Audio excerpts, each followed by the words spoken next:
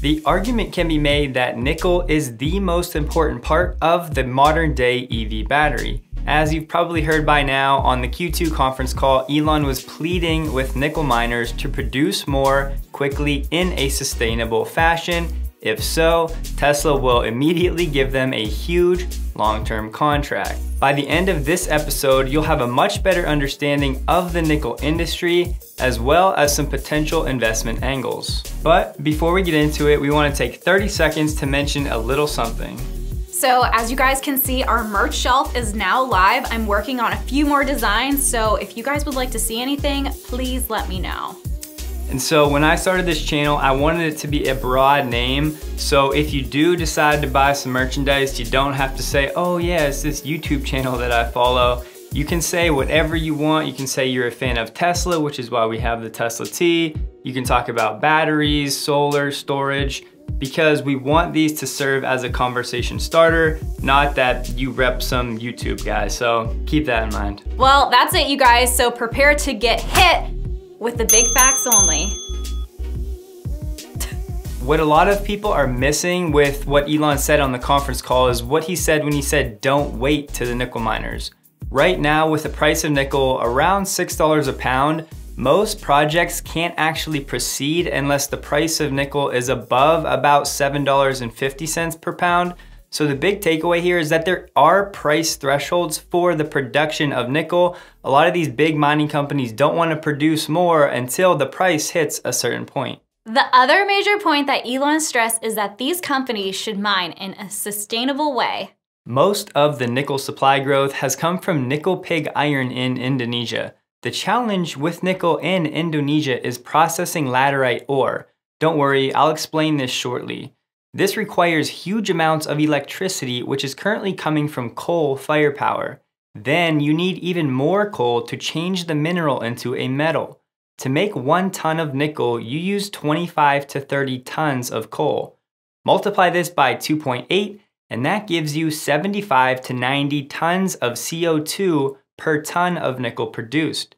You multiply by 2.8 because complete combustion of one short ton or 2,000 pounds generates around 5,720 pounds or 2.8 short tons of carbon dioxide. Thus, a lot of these projects right now have a less than ideal carbon footprint. So let's take a look at where the largest nickel reserves are. Australia has the largest supply with 19.5 million metric tons. They're followed by Brazil with 10.5 million, Russia with 7.5, New Caledonia, which is in France, with 6.5, Cuba at 5.5, and the Philippines with roughly 5 million metric tons. In 2017, the Philippine government cracked down on mine operators violating environmental laws and closed 28 of the 41 mining companies. As of 2018, the Philippines were the second largest producer of nickel ore right after Indonesia, and both countries have heavily supplied China, the world's largest purchaser of nickel. Industry experts believe Indonesia will be the leading supplier of nickel for the next decade. Now let's take a look at the largest mines and the largest companies operating them. Vale SA is one of the biggest players in the industry operating mines in Canada, Indonesia, New Caledonia, and Brazil. Norilsk Nickel has operations in Russia and South Africa. Glencore, which you've heard of because of their deal with Tesla and Cobalt, has mines in Canada, Australia, and New Caledonia. BHP Billiton operates in Brazil.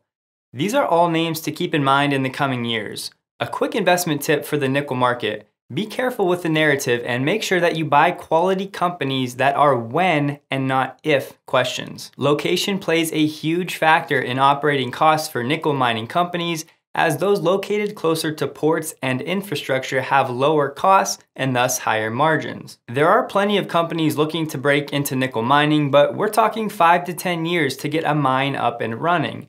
Companies have to deal with permits, construction, commissioning, and ramping. Now we'll take a look at why nickel is so crucial for the EV boom. Nickel, of course, has a very high energy density. As you can see on this chart, the cathode material in NCA 811 battery cells is 54% of the battery cell's overall cost. Of that 54%, nickel makes up over 45% of that cost. Thus, about 25% of the battery cell costs come directly from nickel. However, only about 4% of nickel is used in electric vehicles, and the primary use of nickel is in stainless steel. To be specific, stainless steel makes up about 65% of nickel use, followed by metal alloys at 20%, plating at 10%, and EV batteries making up the remaining 5%. Of course, we know that EV demand is set to grow exponentially in the coming years, but even if that presumption does not play out, the nickel industry will continue to grow. However, Glencore, one of the biggest players in the space, forecasted that the EV market could reach 25 to 30% of the nickel market over the next 10 years. Historically, nickel use has increased around 5% annually over the past 10 years, so a case can be made to remain bullish on nickel even if the EV revolution is delayed. In 2015 and 16, the price of nickel was low enough that nickel miners slowed operations as they did not want to sell the precious resource when the spot prices were depressed. Once the demand to supply ratio was more favorable, the prices began to climb. As you can see, in June of this year, the trending price for nickel has started to increase once again. To better understand this, we're gonna look at the different types of nickel and the different classes. So as a metal, nickel is finite and mining is intrinsically unsustainable, but there are abundant nickel resources known around the world. You have nickel sulfides or nickel laterites. Sulfides are typically found deep underground and are more expensive and difficult to mine, while laterite deposits are found near the surface. Historically, production has been dominated by sulfide ores, but with each passing year, production is shifting to laterite ores. Sulfide ores are easier to process through conventional mining, smelting, and refining compared to laterite ores which require intensive processing. Laterite ores require more energy and chemicals to produce than sulfide nickel. Most nickel uses are dissipative which limit high rates of recycling, resulting in the progressive shift to laterite projects becoming inevitable. The majority of nickel resources are contained in laterite ores as people have chosen to produce from sulfide ores to avoid the difficulty of processing these laterite ores. The growing production of nickel from laterite will lead to a greater environmental footprint over time, adding to the sustainability challenge. Sulfides are typically higher grades than laterites, and to round this out, Class 1 nickel products have a purity minimum of 99.8%, and roughly 55% of nickel mining output relates to Class 1 products.